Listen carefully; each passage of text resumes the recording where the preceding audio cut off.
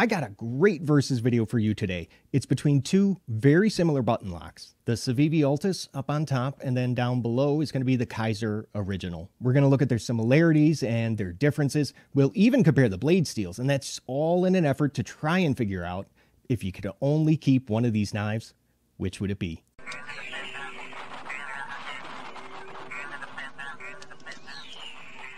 On the screen are going to be the specs, their measurements. I just went ahead and took myself, but I'll also list them for you down in the description, along with like the links to buy and the coupon codes.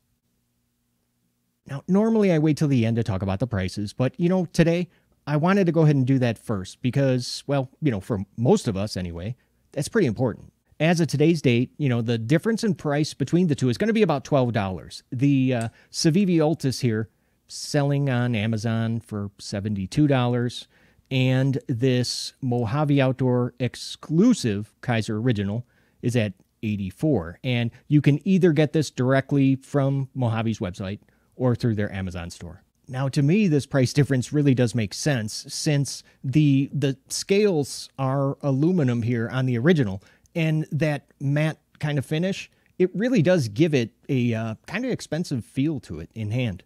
The handles. After some further comparison of the two handles, I gotta go ahead and give it to the Altus because I, I just like its handle a little bit more. It uh, it has a uh, it's a longer and thicker handle that I can fit all of my fingers on, and I wear about a medium sized glove. Now there's no you know there's no forward finger choil, which you know is just fine since my grip here is nice and close. Look at that you can really grip it nice and close to that blade and that's just going to give you some better control when you're you know when you're cutting. The handle design of the Kizer what it does it kind of pushes your grip back farther away from the blade which really starts to make it almost feel more like like it's a, a three and a half finger grip. I mean you can you can go ahead and put your index finger over the top there and, and choke up you know, I don't recommend doing that because it just you you could easily slip forward.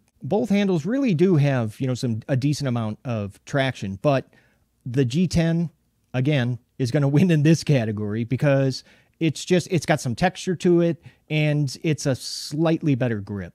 The pocket clips. Even though button locks, you know, are typically going to be right-handed knives since the button's only on one side, the uh, the deep carry clip on the Altus though it does show us lefties some love because it's got two positions. But then again, I I kind of like this shorter clip on the original. I mean, it gives it a little bit more of a premium look and it is even uh, it's recessed into the handle, but unfortunately, yeah, it's going to be just the one position.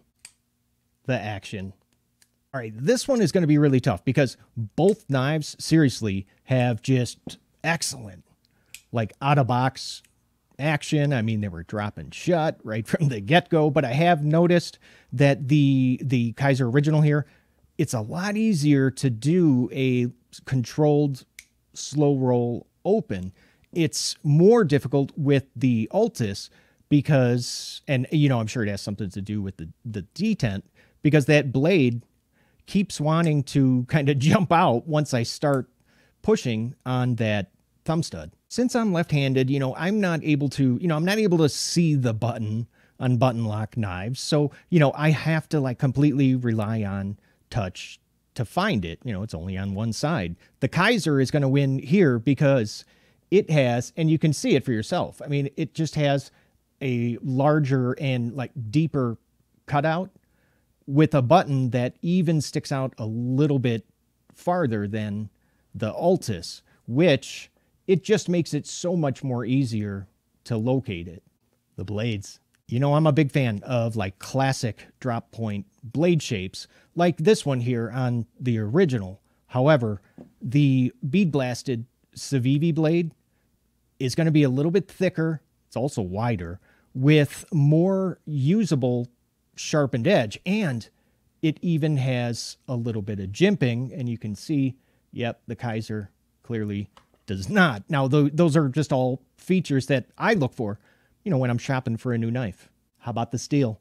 Nitro v is going to be a it's a really good budget steel that is often compared to like 14C28N Sandvik. It's known for its excellent corrosion resistance and even its toughness, but even though it's considered to be, you know, like a harder steel, it's actually very easy to sharpen.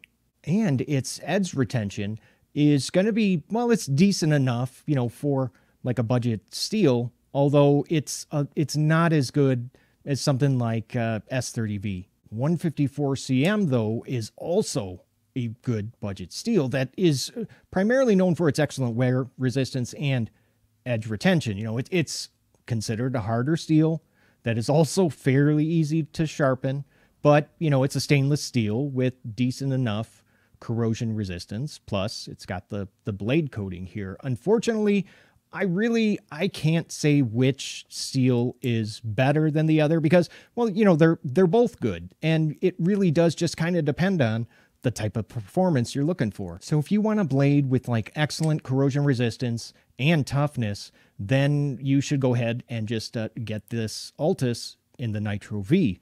If you want a blade with excellent edge retention and wear resistance, then, you know, the Kizer Original in this 154cm is going to be the knife for you. All right, now it's your turn. Before I go ahead and show you my pick, I would love to know which one do you like? Go ahead and let us know in the comments. You know, both knives are great, and honestly, you can't go wrong with either one, but I promised you a decision, and this was a tough choice. If I could only keep one of these, which would it be?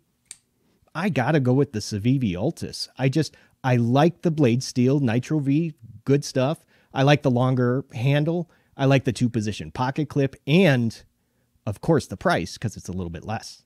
Now, up on the screen is going to be a video that I personally picked out for you to go ahead and watch next. And hey, if you haven't already, consider subscribing if you're looking for knife reviews.